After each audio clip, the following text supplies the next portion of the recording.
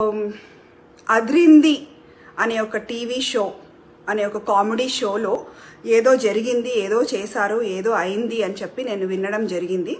And ఎవరైతే ఆ, ప్రోగ్రాంలో యాక్ట్ చేశారో ఆ వాళ్ళు క్షమాపణ చెప్పడం కూడా జరిగింది. సో ఇప్పుడు మనం యాక్ట్ చేసిన వాళ్ళ గురించి మాట్లాడము కానీ నాగబాబు గారి గురించి మాత్రమే మాట్లాడతాము. నాగబాబు గారు మీరు లాస్ట్ టైం కూడా మీరు ఏదో నోరు జారితే నాతోని ఎన్నోసార్లు మీరు మీ తమ్ముడు మీ అన్న అందరూ కూడా తిట్లు తిన్నారు. అయినా కూడా మీకు సిగ్గు అనేది రావడం లేదు.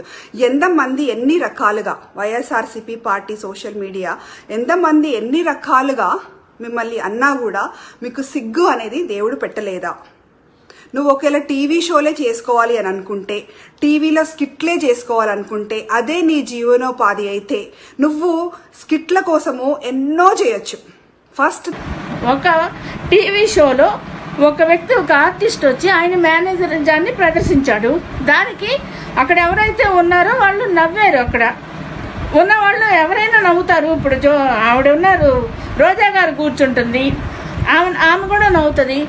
దానికేంటి? అదేదో పెద్ద తప్పు జరిగినట్టు తప్పు మాట్లాడినట్టు ఈ విధంగా నోటికి వచ్చినట్టు మాట్లాడి. థింగ్ నీ అన్న కూతురు ఎలా లేచిపోయిందో. దాని మీద స్కిప్ చేయి. మేము చూసి సంతోషిస్తాము. మేము చూసి నవ్వుకుంటాము. లేదా మీ అన్న కూతురు ఎలా ఉదయ్ కిరణ్ని పెళ్ళి చేసుకుందో ఉదయ్ కిరణ్ చావుకి మీ మీ కుటుంబం అంతా ఎలా కారణమైందో దాని మీద స్కిట్ చేయి. చూస్తాము నవ్వుకుంటాము. మేము కూడా నవ్వుతాము మేము కూడా ఎంజాయ్ చేస్తాము. లేదా పవన్ కళ్యాణ్ ముగ్గురు పిల్లల్ని ఎలా పెళ్ళి చేసుకున్నాడు ఫస్ట్ భార్యతో పెళ్ళి ఎలా అయింది దాని మీద స్కిట్ చేయి. రేణుదేశాయిని ఎలా పెళ్ళి చేసుకోకుండా కాపురం చేసి పిల్లల్ని కన్నాడో దాని మీద స్కిట్ చేయి. మేము చూసి సంతోషిస్తాము. నవ్వుకుంటాము. హహహా అని. లేదా ఇప్పుడు ఏదో రష్యా పిల్లని పెళ్ళి చేసుకున్నాడు కదా ఆ అమ్మాయిని ఎలా పెళ్ళి చేసుకున్నాడు?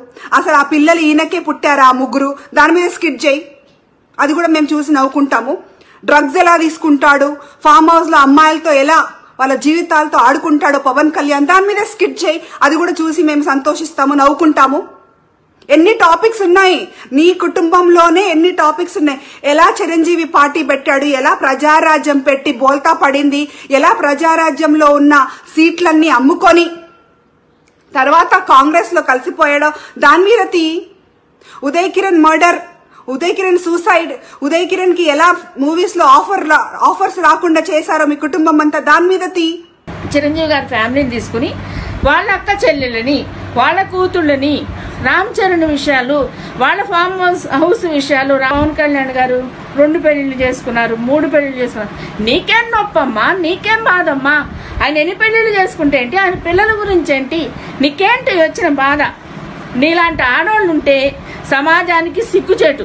ఈరోజు నువ్వు మాట్లాడిన మాటలు పడుకోవడం లేకపోవడం ఇవన్నీ ఏంటి? సమాజంలో ఆడవాళ్ళు తలెత్తుకునే మాటలైనా? ఏదైనా సరే ఇంట్లో మాట్లాడుకుని పిచ్చుకొక్క వాగినట్టు వాగుతున్నావు అంటే నువ్వు ఒక లైవ్లోకి వచ్చి నువ్వు మాట్లాడుతున్నావు అంటే నీకు అసలు బుద్ధి ఉందా చిరంజీవి గారు ప్రజారాజ్యం పార్టీ గురించి మాట్లాడావు పెట్టారు పార్టీ పెట్టారు నూట రెండు సీట్లు ఇచ్చారు.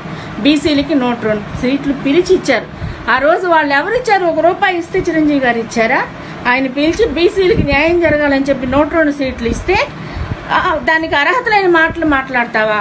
ఎవరైనా ఫండ్ ఏ పార్టీలకు ఫండ్ ఇవ్వట్లేదు ఏదైనా ఫండ్ ఇస్తే దాని సీట్లు అమ్ముకున్నట్ట. బీసీలు ఎవరు డబ్బులు తీసుకొచ్చి ఇచ్చారు?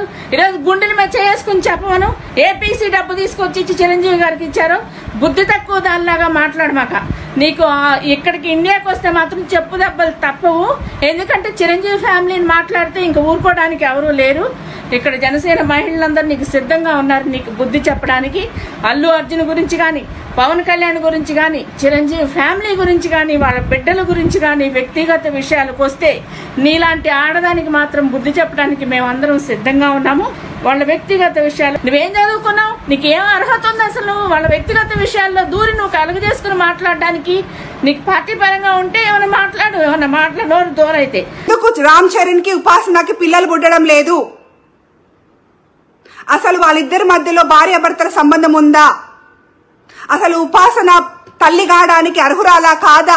నమ్మితి. విషయాలు రామ్ చరణ్ గారికి ఉపాసన గారికి పిల్లలు పుడితే ఏంటి పుట్టకపోతే ఏంటి నువ్వేమైనా ప్రసవం చేయడానికి వస్తావా? నీకేమైనా బుద్ధి ఉందా జ్ఞానం ఉందా ఒక ఫ్యామిలీ గురించి విమర్శించేప్పుడు నీకు సిగ్గుండక్కర్లా?